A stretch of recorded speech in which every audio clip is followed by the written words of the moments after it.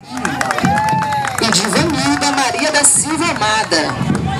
Modalidade de ensino, educação infantil.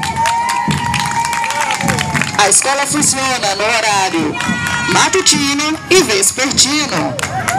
Principais programas PSE e PDD.